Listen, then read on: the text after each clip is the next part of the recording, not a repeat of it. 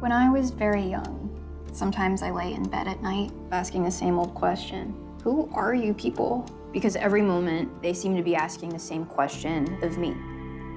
Hey, Mom. There's enough trouble out there without you going to look for it. You don't even know what this letter means. It is from six months before I was born. Are you sure you don't just like want this guy to be your dad? Or like everything's just gonna magically make sense? Well, I have to find out.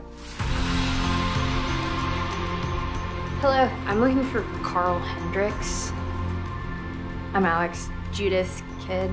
Judith. Look, I'm sorry your mom didn't tell you about me. She didn't tell me about you either. I don't want you sticking around expecting something that's not gonna happen. I mean, having an affair isn't like awesome, but you got me out of it, right? Yeah, I guess we did.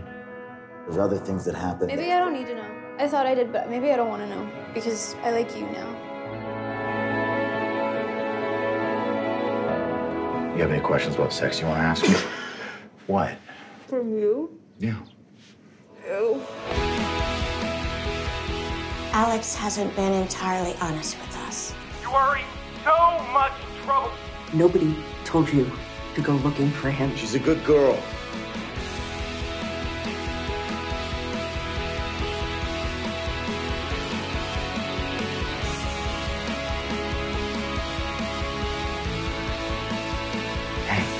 I'm gonna be okay. Everything's gonna be fine.